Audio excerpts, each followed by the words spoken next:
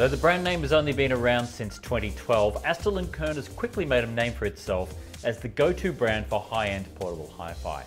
But with players stretching into the thousands of dollars, it's been a brand that not many people have been able to experience until now. Enter the Astell & Kern AK Junior.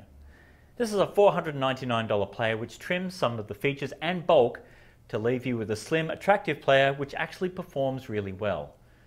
It's the design that first strikes you. From that beautiful volume knob to the discreet and easy to use, even when in a bag, playback controls.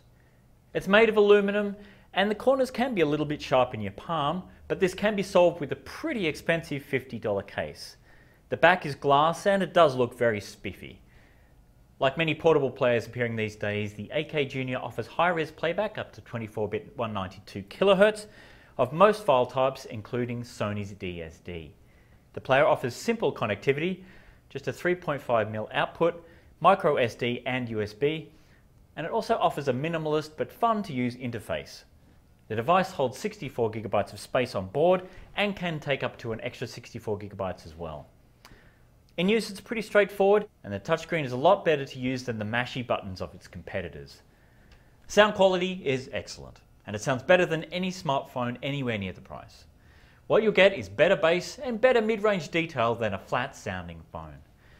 If you hook it up to a computer, you can also get better quality PC audio too.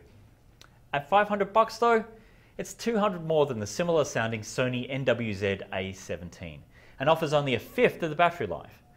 With its much better design and materials, metal versus dentable plastic, and a user experience that's far superior, I'd buy the AK Junior over the Sony any day.